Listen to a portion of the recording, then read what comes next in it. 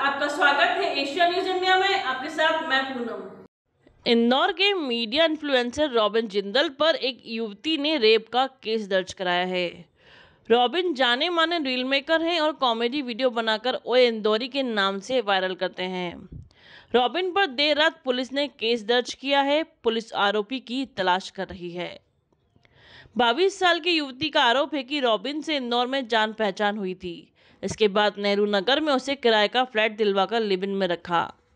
शादी करने का वादा करते हुए उससे कई बार संबंध बनाए, फिर शादी से मना कर दिया।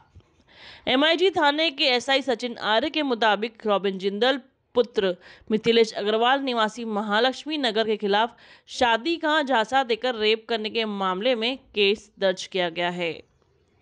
रॉबिन सोशल मीडिया पर काफ़ी सक्रिय हैं। उसके इंस्टाग्राम, फेसबुक और यूट्यूब पर लाखों फॉलोअर हैं।